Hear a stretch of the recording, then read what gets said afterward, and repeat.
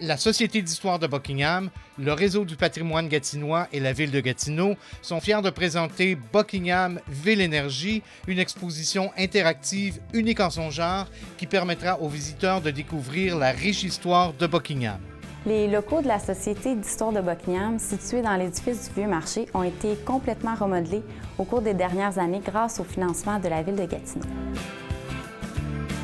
En plus des centaines d'artefacts et de photographies qui sont présents dans l'exposition permanente, on retrouve dans cette exposition plusieurs tablettes qui permettent d'intégrer euh, beaucoup de pièces d'archives de la Société d'histoire de Buckingham. Donc, les visiteurs, quand ils vont venir, vont pouvoir non seulement voir des objets physiques, mais aussi avoir accès à une quantité euh, illimitée euh, d'archives et de photographies d'artefacts. Et on retrouve aussi des extraits de vidéos de la longue saga de Buckingham, ainsi que le parcours éducatif. L'exposition est présentée en six différentes zones qui explorent le milieu physique de Buckingham, qui a d'abord été occupé par les Autochtones il y a 5000 ans. Les premiers colons se sont établis sur le territoire en 1820.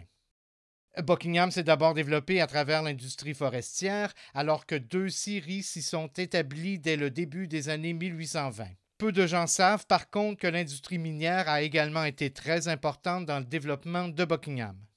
La présence de minerais comme ce phosphate euh, dans la vallée de la Basse-Lièvre est très importante, surtout à la fin euh, des années 1800. L'extraction du minerai va être importante. On va avoir une présence d'environ 2000 personnes sur la rivière pour une population d'environ 3000 personnes dans la ville. Et aussi sa transformation.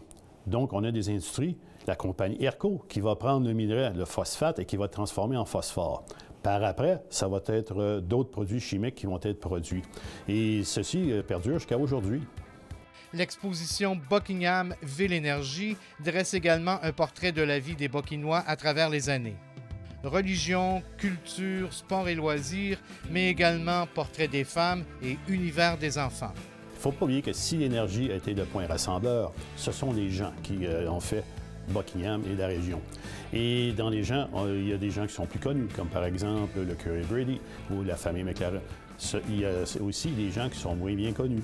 On a une photo des archives d'un quêteux, M. Tikan euh, on a des gens extraordinaires. On a des bénévoles comme Mme Anna Charrette. Et aussi, on a nos sportifs qu'il ne faut pas oublier. Euh, ce qui fait qu'avec l'exposition, avec la technologie qu'on a, les gens vont être capables, le public va être capable de nous amener l'information, on va pouvoir la rajouter. Donc, éventuellement, il va y avoir toute la présence de toutes sortes de gens qui vont être soulignés. Buckingham, Ville Énergie, une exposition qui s'adresse à tous les citoyens de la Basse-Lièvre, mais également aux gens de l'Outaouais qui désirent connaître cette riche histoire.